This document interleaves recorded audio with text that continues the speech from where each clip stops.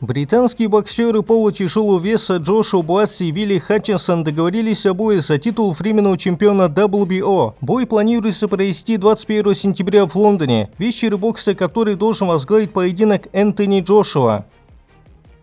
Переговоры по бою между Сергеем Богачуком и Веджелом Ортисом находятся на завершающей стадии. Бой пройдет 10 августа в Лас-Вегасе. Всем привет! Вы на канале Воин. Без лишних слов погнали!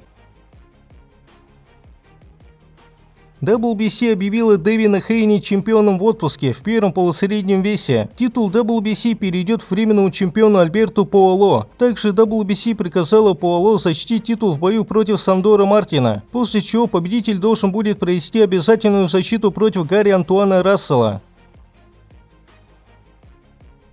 Международная боксерская федерация IBF сняла санкции с российского бокса. Об этом сообщил директор RCC Boxing Promotions Герман Титов после турнира 22 июня. По информации источника, решение было принято в середине июня. Данные санкции действовали с марта 2022 года. Согласно им, организация отказывалась признавать и утверждать поединки на территории России. В данный момент в связи с вышеупомянутым решением уже происходит изменение в рейтингах. WBA и WBO также сняли санкции из российского бокса.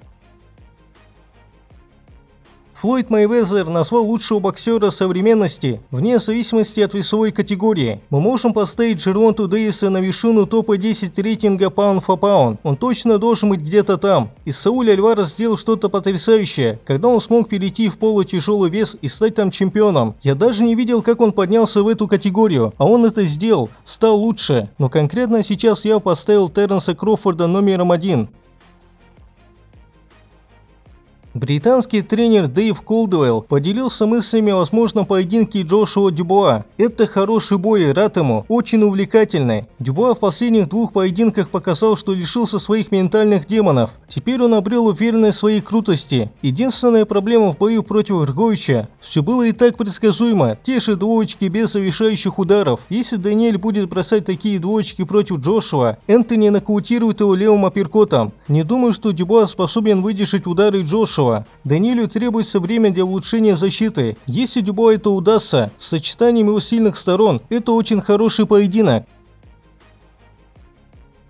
Кларесса Шилса рассказала, должен ли Дантей Уайлдер завершить карьеру. Вы меня спрашиваете о Дантее Уайлдере, но он мой близкий друг, поэтому я не хотела бы его обсуждать. Любой боец, если он чувствует, что готов уйти, то должен завершить карьеру. Мне очень было неприятно смотреть, как его нокаутируют в последнем бою. Это не тот Дантей Уайлдер, чемпион, которого я знаю. Не с таким ударом, как раньше. Он не так уверен в себе. Возможно, это возраст. Теперь он старше. На самом деле все зависит от Дантея. Но я хочу, чтобы он ушел из спорта на своих условиях. При этом сохранил здоровье, при деньгах и в своем уме. Так что, когда он будет готов завершить карьеру, он это сделает.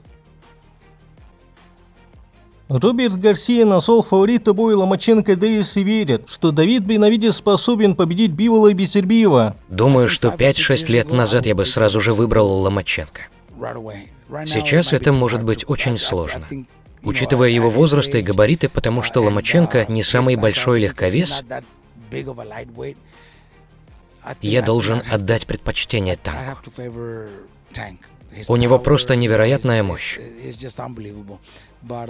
Но Ломаченко обладает отличными навыками. Лома боец, который не будет его бояться, он будет в замечательной форме. Так что если Ломаченко будет драться грамотно, если будет знать, как выиграть несколько первых раундов, а затем грамотно проведет остальные раунды, то есть шанс, что он затащит этот бой. Лома очень умный парень, но я думаю, что мощь Дэвиса окажется ему не по зубам. Может ли Бенавидес конкурировать в полутяжелом весе и победить чемпионов? Я думаю, что может, но это будет непросто. Мне кажется, что во втором среднем весе он намного лучше, там он монстр, которого мы знаем. Я не думаю, что в полутяжелом весе мы увидим монстра, которого видели во втором втором среднем. Но я все равно могу представить его победу. Я считаю, что Бенавидес мог бы победить Бивола или Битербиева. Я думаю, что он мог бы победить любого из них, но это были бы сложные, а не легкие поединки. Я предпочитаю, чтобы он выступал во втором среднем весе. Я не думаю, что для Лома это непосильная задача. Танку придется нокаутировать своего соперника, чтобы одержать победу. Ломаченко вполне может забрать этот бой решением. Будет забавно посмотреть на план Дэвиса. Интересно, что он собирается делать. Если пойдет вперед, обойдет джеб, то сможет контролировать Лому. Но если он будет сидеть сложа руки и спрячется за высоким блоком, то Ломаченко победит его. Рой Джонс-младший сообщил, что его сын Деандре покончил жизнь самоубийством. Джонс не стал делиться подробностями, но попросил журналистов и фанатов не беспокоить его некоторое время. К сожалению, мой сын Деандре покончил с собой в субботу. Я так благодарен, что Бог позволил мне в пятницу вечером прийти домой и провести вечер в кругу своей семьи. Я знаю, что сейчас много людей переживают трудные времена, но ничего не стоит того, чтобы лишать себе жизни. Бог дал нам жизнь, и Бог должен ее забрать. Пожалуйста, уважайте нашу конфиденциальность, пока я и моя жена переживаем эту потерю.